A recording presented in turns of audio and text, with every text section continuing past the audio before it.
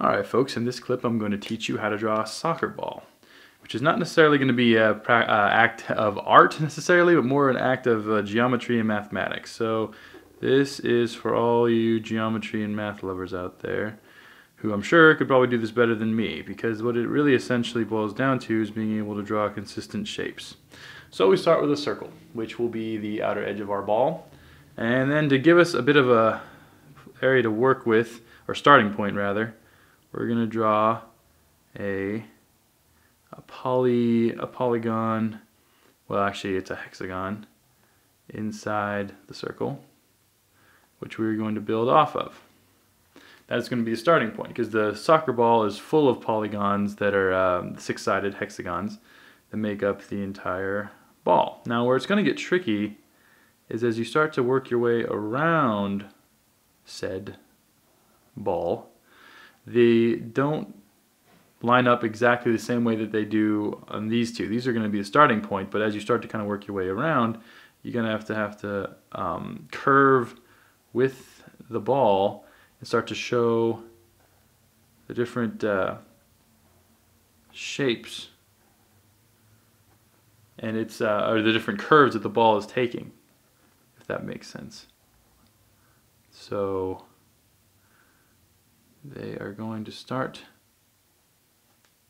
to uh, stretch in different ways. So now basically you just build off of what you have here. But this again is not going to be easy. You're going to have to really visualize the curves of the ball.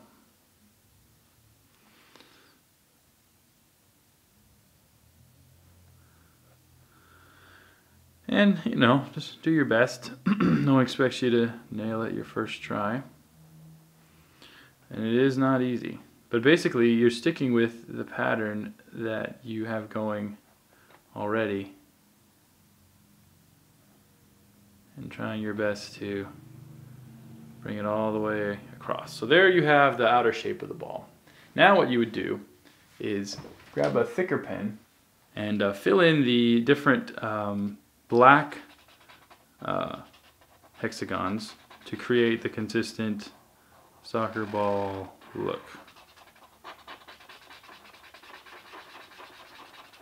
The standard soccer ball look that we all come to know. And you don't do all of them obviously, you just kind of pick a few and they have to be, you know, relatively space equal distance apart.